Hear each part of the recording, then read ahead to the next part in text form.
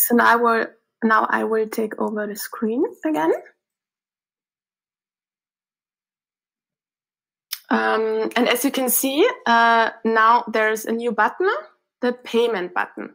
And one thing I also wanted to mention that there's also this section um, called activities where um, every step of the way is documented and I can um, see exactly when each step happened.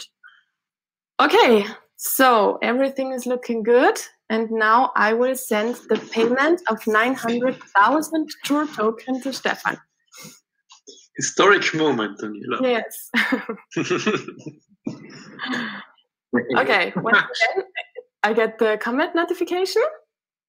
Um, as you can see, the fee um, is lower.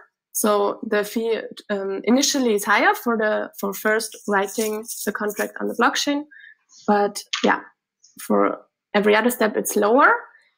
And then I confirm. Oh, and sorry, just my lexicon open. wanted to be part of the thing.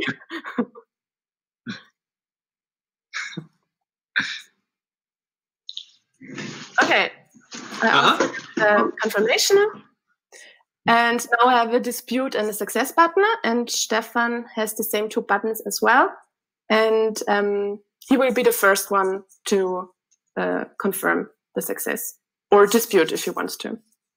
Mm. I will hand over to Stefan again.